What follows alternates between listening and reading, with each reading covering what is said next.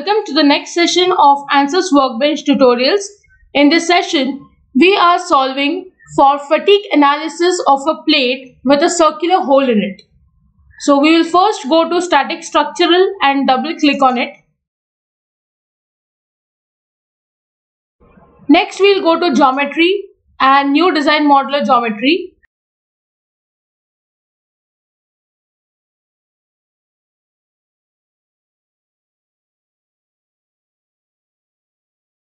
Units I'll choose as millimeter. XY plane look at. I'll first go to sketching and sketch a rectangle.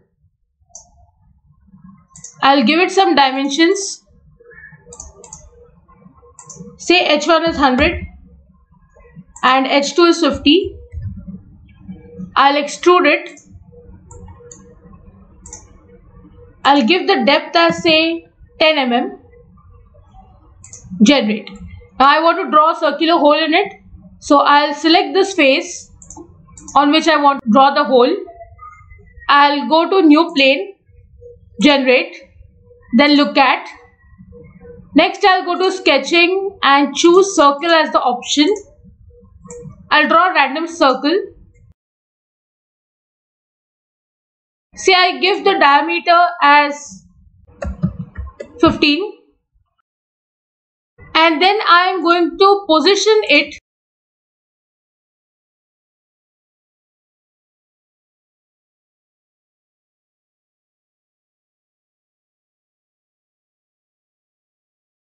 L2 will be 50. I want to place it at the center. So this is 50 and 25. Next I'll extrude. The sketch is selected. Apply. Operation will be cut material the depth is already chosen as 10 mm generate. So this is a hole created in the plate. This is my simple geometry. Next I'll go to engineering data. Now since we are talking about fatigue analysis, we need to talk about the alternating stress, mean stress over here. Let me choose the scale as semilog type so that I can see the graph here. Here you can see the values of alternating stress if I see in megapascal, this is the value of stress generated. Now I have already made a video on this topic wherein I have discussed about a circular plate with a hole in it and all the explanation has been given in it. You can go through the video. So that explains this value of 86.2 being the yield stress for the material.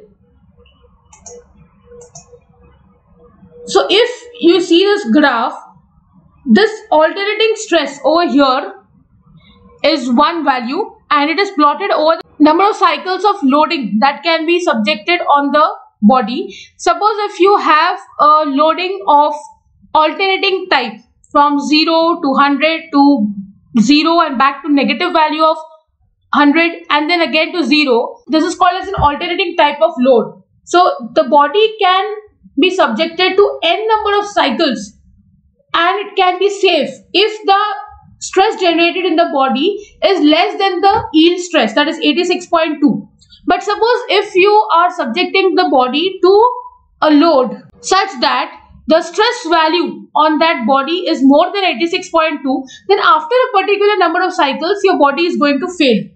So that's the basic concept of fatigue. That is when you are subjecting the body again and again to the same type of loading and you see your body is going to fail because you are loading and unloading in a cycle. So let's see. This is my model that I'm trying to open here. Now I'll go to geometry and I'll see the solid. The material assigned is structural steel which is the default material. That is what we were discussing about. Now we will go to mesh sizing relevance center we'll choose fine update. This is my simple meshing that I have done. I have chosen fine mesh. But this circle over here which is a hole in a plate it is a point wherein if you have a small crack being generated then that is the point of initiation of crack propagation. That is, from that point, the crack will propagate over your entire body. Generally, it happens in this zone. The reason being, when you are manufacturing a hole, you are actually going through a cutting operation. When you do a cutting operation and you are cutting out the material, there could be certain ends which has got cracked because of the tool interaction with the body. There is a rough cutting done. So when you do a cut on the body, obviously it is possible that a small nick or a small cut can be left on the body from where your crack can propagate over the entire body. So because of which cutting operation is very sensitive operation and when you have a hole in the plate, this is the point where your stress concentration is there. It is called as notch sensitivity area which means you can have a notch over there wherein you are, if a crack is generated, it will propagate on the entire body. That's the basic meaning of notch sensitivity. So now let's apply some load and check what happens to the body. First I'll go to analysis settings. On this side I want to apply fixed and on the other end I will apply force. Now this force is something that we will discuss about as we go through the analysis. Let's initially start with applying a small amount of force. You can see this is x direction so I'll apply a force of say 10 kilonewton. Then I'll go to solution. I want to see the total deformation on this body because of the loading. I also want to see the equivalent stress which is generated on the body so that I can know as to how much stress this load creates and whether my body is going to be in the safe zone or maybe after some amount of loading over a particular you know duration of time when you continuously load and unload the body my body is going to fail so how many cycles it is going to endure the load for I want to insert a new term which is called as fatigue because that is what we are doing. We are doing the fatigue testing for this plate with a hole in it. Now you can see here, this is the entire concept of fatigue which is shown in ANSYS. There are various types of stress correction theory. One is called as SN curve. S is the alternating stress on the body and N is the number of cycles. That is what you saw over here. So this is your alternating stress which is generated on the body because of the load and cycles over here. So this is nothing but your SN curve. Any stress on the body below this curve is always going to indicate that your body is in a safe zone. But if at all your stress generated falls above this graph, it indicates that your body is in a zone wherein after a particular number of cycles of loading on it, it is going to fail. So wherever your stress intersects this graph, that point will be showing your condition of the body. So let's get back to this and we will also talk about other theories like Goodman theory, Soderberg theory and Gerber theory. These are the various theories. You can take up any one theory and solve. By default, your SN is selected. So we can go for any other type as well. So you can see here, this is your SN which is shown here. Okay, let's go to this left hand side. You can see here the type of loading is fully reversed. Fully reversed means you're going from a particular value to 0 to its same negative value then again back to 0 to the positive value to 0 back to the negative value and this continues. So when you apply a loading of this sort, this is called as fully reversed loading. There are other types also. For example, zero based. Zero based means you start from a particular value, you go to 0, again you go to the value to 0 and again to the value. This is only one ended load. That is, it is only towards the positive side. Whereas fully reversed means you have the loading in the positive as well as in the negative side. Now there are two more over here. One is called as ratio. You can see here ratio means your loading will be in a particular ratio like from 1 is to 1 is the ratio or it can have more. Now this ratio can also be changed. For example, scale factor is 1 here. If you want, we can change the scale factor to 2. So you can see the value has increased to 2 maximum loading and you can change it. That's your choice. So this is called as ratio and another type is history data. When you have history data, it means you have some amount of value which is stored and you can use that data. So we are not going into that type. we are going mainly into fully reversed and zero based because these are the type of loading which you generally see. And don't forget to change your scale factor to 1. Now apart from this, you can see here in options analysis type. The analysis type is of stress life which you are checking as to how much stress is generated and what would be the life of the body. When we have mean stress theory, you can change it. You can see here there are four types as you can see here. We'll go to Goodman theory and the stress component will be of equivalent von Mises type. So this is what we have chosen. In fatigue tool, if you right click, you can insert the life term which means you can see what will be the life of this body. Also, you can insert the safety factor wherein you can see the factor of safety which is generated in this body. They mean something, obviously, we will discuss that and we will also talk about damage. So, these are the three things that we are going to discuss in this analysis. Now, I'll go to solution and solve. Okay, we'll go to total deformation. This is the total deformation over the body. You can go to animation and you can check its animated view. Next, we are going to equivalent stress. You can see here the stress generated is 68.084 which is less than 86 megapascal. You can check the unit over here, it is megapascal. So it is less than 86 megapascal means my body is safe. Let's talk about the life. Now you can see here this is the number of cycles that can be loaded on this body and your body is going to be safe. If your body is subjected to a stress which is lower than the maximum stress, for example in structural steel the value is 86 megapascal. If it is less than that, your body can endure n number of cycles and the body will be safe. If you go more than 86, your body will fail obviously after performing some amount of cycles. Not fail means immediate failure. Let's talk about safety factor. Safety factor over here is shown here as the design life and this is your result 1.2661 this value please note if it is more than 1 it means your body is safe suppose if this value falls below 1 0 0.2 0 0.5 0 0.3 0 0.9 you can say that your body is going to fail.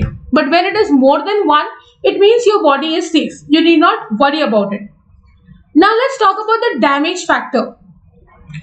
You can see over here that since your number of design life is this and also the life is going to be this value, when you divide both of them, this higher value divided by the life value, you will get this damage factor this is 1000 which means it is quite high and your body is going to be zone wherein you are going to have failure. This term fatigue damage is nothing but the ratio of design life to the available life. So this is your design life and this is the available life over here as you can see. Now we can discuss about it by changing the value. Currently my body is safe so I need not worry.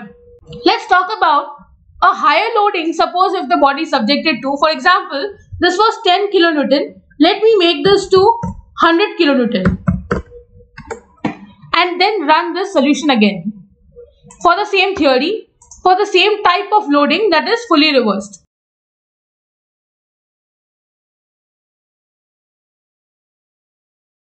Now let's talk about total deformation.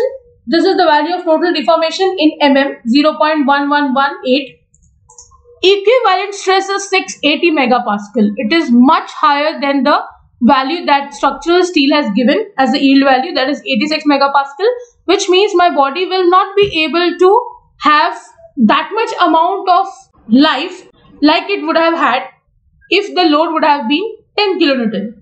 So let's go to fatigue tool now and check. Look at the life now. The life is only going to be 830 cycles. More than this the body is not going to sustain. Let's talk about the safety factor. You can see here the ratio is 0.12 which means your value has fallen below 1 means your body is not going to have a very good life. Also you can see here the body was designed for 1 into 10 raised to 9 cycles but life value shows as to how many cycles it is going to sustain. Let's talk about damage. Damage says it is the ratio of the design life to your life which is going to be available for the body. So you can see here, this is the maximum ratio which you have found. So that indicates that after a particular value, your body is going to fail. This is the maximum number of cycles it can sustain. And the life over here shows the minimum number of cycles it can follow. 830, it will definitely sustain. And maximum value is that 1.2 into 10 raised to 6 over here. But it will fail somewhere in between these two. Where it cannot be exactly said, but it can be definitely failing between both of them. Also, you can read here the tabulated data to the right hand side. Minimum value is 1000, maximum is these, this number. So that is how the body is going to fail.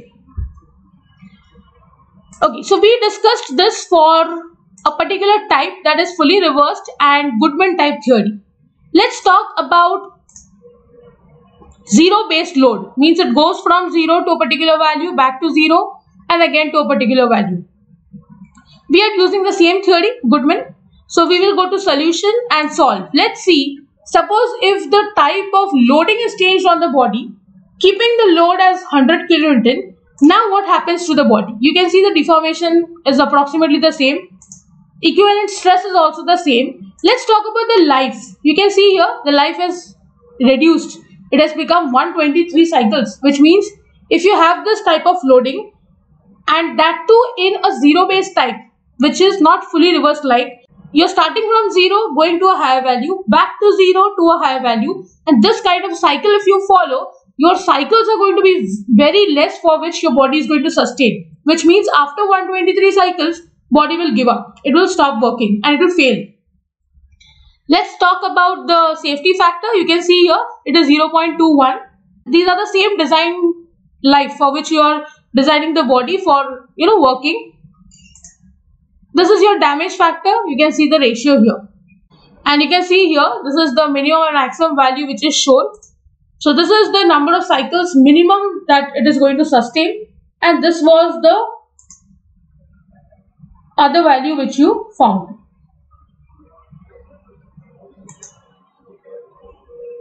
So this is how you analyze a body for fatigue analysis. And by using software you can find out the life number of cycles it can sustain the damage that can be caused on the body whether your body is going to fail or not for a particular material, for a particular loading. So that's how without making a prototype and going for destructive type of testing, you can use software which is a non-destructive type of testing and you can actually analyze what will be the threshold value which the body is going to sustain. Now this is a common doubt as to how do we calculate the threshold value. Now for that obviously you will have to go for permutation combination technique that is you will have to keep on changing the value of this load from 10 to this 100 kilonewton that I have taken. Obviously the scale is too high but you can go on taking some intervals and checking the values such that a particular value will be reached at which you can say that above this value my body will be having you know a life which will be determined value which will be not like the designed value it will be less than that. And below that value whatever amount of load you apply say 15 kilonewton could be the limit that's an assumption that I make. If it is so below 15 kilonewton whatever load you apply your body is safe. More than 15 kilonewton this body is going to fail. So that's how the values can be analyzed so with this I end the session I hope you have understood the technique of fatigue analysis if you have any doubts please write to me in the comment section don't forget to like, share and subscribe to the channel. Hit the bell icon for latest video updates. See you in the next session. Thank you.